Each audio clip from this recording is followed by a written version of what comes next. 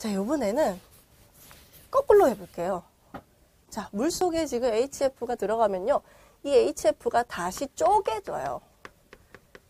쪼개져서 어떻게? 양이온과 음이온으로 쪼개지는 거예요. 그럼 양이온, 음이온 어떻게 쪼개져요? 이때 이제 이온을 여러분이 외워주셔야 되는 거죠. H는 H 플러스 된다 그랬죠. F는 F 마이너스 된다 그랬잖아요. 그래서 HF는 H 플러스와 F 이렇게 쪼개지는 거예요. 자, NaCl이에요. Na는 Na 플러스 된다 그랬고 CL은 CL 마이너스 된다 그랬죠. 그래서 이렇게 1대1로 쪼개지더라. KCl도 마찬가지. K는 플러스 1로 CL은 마이너스 1로 쪼개지죠.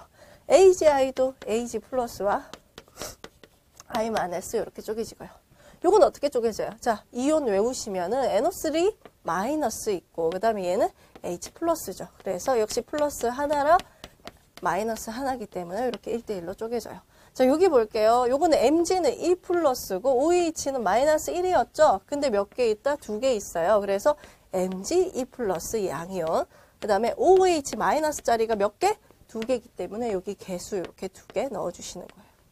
그 다음 CaCO3 더 CA는 2 플러스였죠. CO3 마이너스 2 마이너스예요. 그죠? CO3 마이너스 이렇게 쪼개지더라. CUS는요. CU가 2 플러스 S는 황은 2 마이너스로 쪼개지죠? 그죠? 그래서 이렇게 이온화되더라 보는 거야. 자, 근데 특이하게 H2O는 어떻게 쪼개지냐? 요거는 예외적으로 기억하세요. H 플러스와 OH 마이너스로 쪼개져요. 물은. 요거 계속 나올 거니까요. 여러분이 물은 이렇게 쪼개진다 기억을 해주세요. 그 다음 CaO 얘는 이 CA E 플러스 그 다음 산소는요 2 마이너스로 존재한다 그랬죠. 그래서 1대1로 이렇게 쪼개집니다. 자, 그 다음 11번도 볼게요. 자, 여기서 보시면은 양이온, 음이온 나눠보세요. 요 K 플러스가 양이온이고 OH 마이너스가 음이온이죠. 양이온 하나, 음이온 하나니까 어떻게 K 플러스 OH 마이너스 요거는 잘못돼 있네요. CaOH2가 맞죠? 왜? CA는 2 플러스니까 마이너스 1가짜리가 두 개 있어야 전체 중성 나오잖아요. 그래서 CA 2 플러스 OH 마이너스짜리 몇 개? 두 개 이렇게 쪼개져야 되겠네요. 자, BA도 양이온은 2 플러스고 OH 네, 마이너스 1가죠. 그러니까 두 개가 필요해야 필요하죠. 그래서 CA 플러스 양이온 쪼개지고 그다음 음이온 OH 마이너스가 두 개 이렇게 쪼개져요. 자, NaOH도 양이온 부분, 음이온 부분, 그죠? 그래서 Na 플러스 OH 마이너스.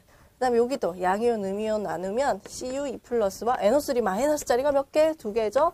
그래서 CU2 플러스. NO3 마이너스가 몇 개? 두 개.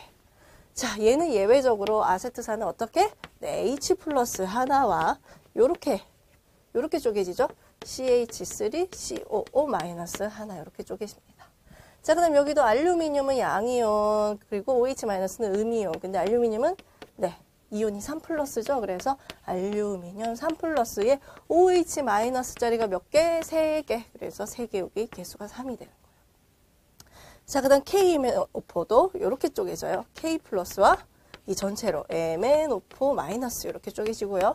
그 다음에 NH4CL 이렇게 쪼개지죠. 그러면 NH4 플러스가 뭐고? 예, 양이온 전체고 그 다음에 CL 마이너스 이렇게 쪼개지고요. 여기도 수소이온과 SO4 E 마이너스가 갈라지는 거예요. 쪼개지는 거예요. 그래서 지금 보니까 수소이온은 1가 양이온인데 몇 개 있어요? 두 개 있고요. SO4는 지금 하나 있으니까 SO4 E 마이너스 이렇게 쪼개지니까 여기는 플러스 2, 여기는 마이너스 2 하니까 전체 중성 나오는 거죠. 자, 그래서 이렇게 쪼개진다. 그래서 우리가 수질에서는요, 이렇게 물질이 들어가게 되면은 수중에서 쪼개져요. 이온으로.